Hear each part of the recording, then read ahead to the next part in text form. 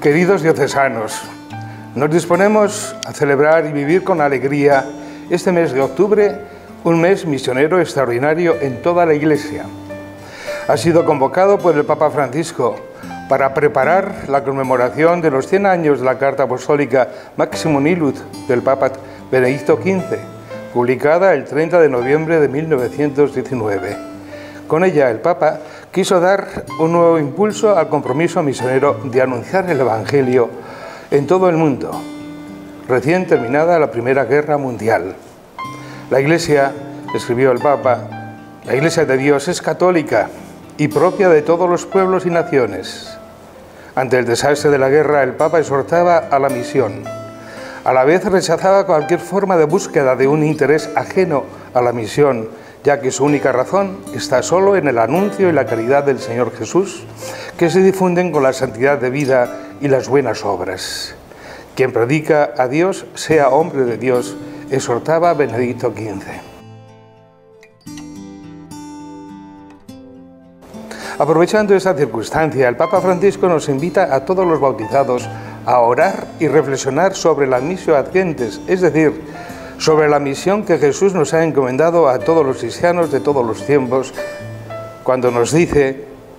id y haced discípulos a todos los pueblos, bautizándolos en el nombre del Padre y del Hijo y del Espíritu Santo,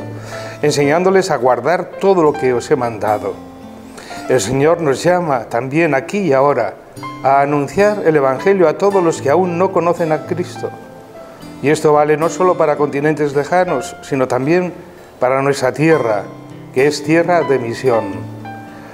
Esta misión de Jesús es lo que nos identifica como cristianos, como comunidades cristianas y como iglesia diocesana. En palabras de San Pablo VI, evangelizar constituye en efecto la dicha y la vocación propia de la iglesia, su identidad más profunda. Ella existe, la iglesia, para evangelizar, es decir, para predicar y enseñar, para ser canal del don de la gracia, reconciliar a los pecadores con Dios, perpetuar el sacrificio de Cristo en la misa, memorial de su muerte y resurrección gloriosa, para que la salvación de Dios llegue a todos.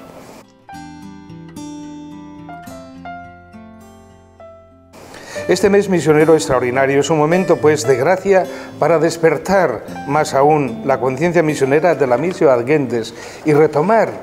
con un nuevo impulso la transformación misionera de la vida y de la pastoral, para que todos los fieles llevemos en nuestro corazón el anuncio del Evangelio y la conversión misionera y evangelizadora de las propias comunidades, para que crezca el amor por la misión, que es una pasión por Jesús, pero al mismo tiempo una pasión por su pueblo. Son palabras del Papa Francisco. Ahora bien, si queremos que nuestra iglesia en sus comunidades eclesiales y en sus fieles sean evangelizadores, si queremos recuperar o avivar el frescor, el impulso y la fuerza para anunciar el Evangelio, tenemos permanentemente la necesidad de dejarnos evangelizar y de convertirnos a Cristo y el Evangelio. En nuestro plan de pastoral venimos insistiendo año tras año en la necesidad de trabajar para que nuestras parroquias se conviertan en verdaderas comunidades cristianas que se dejan evangelizar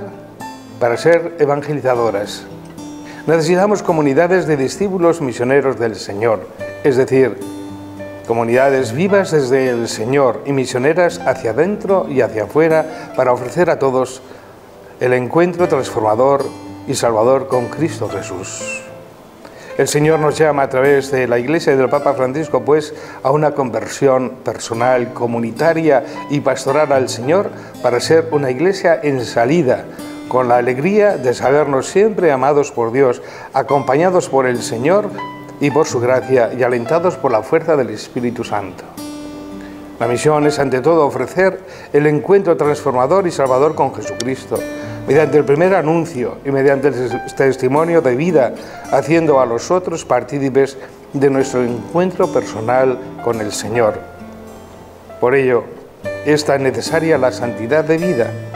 una unión cada vez más fuerte con Cristo y una implicación más convencida y alegre en su pasión de anunciar la buena noticia a todos, amando y siendo misericordioso con todos que este mes misionero extraordinario sea de verdad un tiempo de gracia, en el que intensifiquemos de manera especial la oración, que es el alma de toda misión, así como el anuncio del Evangelio, la reflexión bíblica y teológica sobre la misión, las obras de caridad cristiana y las acciones concretas de colaboración y de solidaridad con otras iglesias, de modo que se avive entre nosotros y en nosotros el entusiasmo y la alegría por la misión. Hasta la próxima semana, si Dios quiere.